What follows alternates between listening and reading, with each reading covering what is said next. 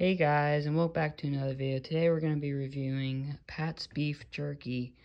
This is a beef jerky that we uh, just picked up. Um, we've tried a little bit of it. We've tried some of their beef sticks. These are really, really good. But they're also uh, individually wrapped. They're all in like pairs of two. So instead of opening the bag and everything being exposed to air, all you have to do, or only things that get exposed to air are the two that are wrapped, which is super nice that you don't have to seal it off because you only have two beef sticks that are in jeopardy, I guess, if you leave them out too long. But, uh, yeah, these are super good. You guys should go buy some. I'll probably have the link in the description to where to go buy these. But then they've also got these pounds, I think. I think these are one pound beef jerky bags. They are really big compared to my hand. This, yeah, these are pretty big. I think these are one or two pounds. Same with this. Can't remember. I think this is a pound, maybe two. Can't remember right correctly.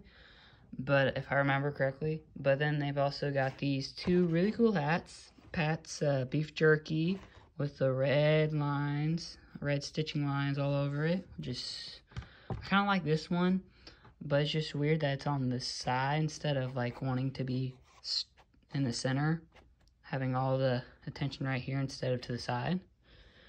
This one is another hat they made, which is, I like the black and white.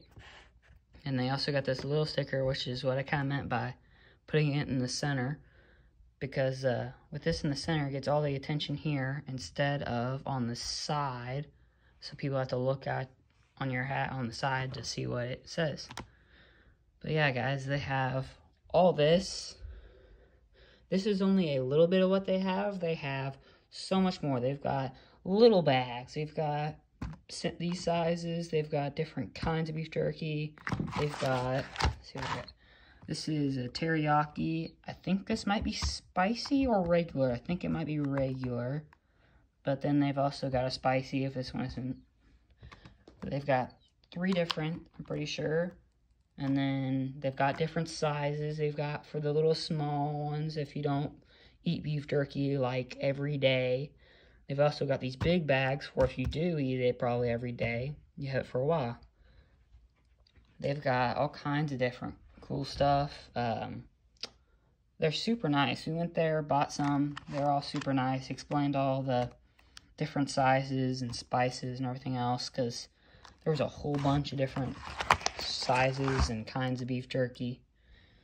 These, though, see, a lot of people seem to like, which I do like them too because they're all individually, and too, like I said.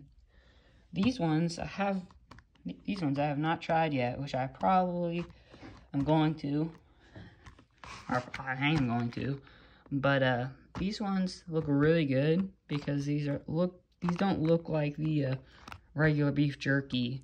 There's the there's the uh, beef sticks or they're not beef sticks. Uh, that reg regular brands that you see all over the shelves that are really dry. These ones, I'm gonna. I think these are really moist. They look really moist. They're all in airtight sealed bags. Took all the air out of them, so they don't have any air, air in them.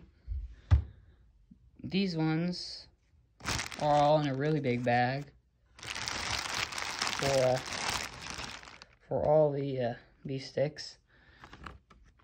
But yeah, guys, this is kind of the uh, all the beef jerky. Not all of it, but a couple bags of it and stuff that they have, which is pretty good you guys should go buy some. I'll probably have the link in the description. Um, thank you guys so much for the 352 views you guys gave me on the last video. Hopefully we can blow it away with this video too. And, uh, yeah, I, you guys seem to like these kind of videos better than you did the, uh, farming ones, which is understandable. That seems to be more popular instead of the gaming, which, yeah, makes sense.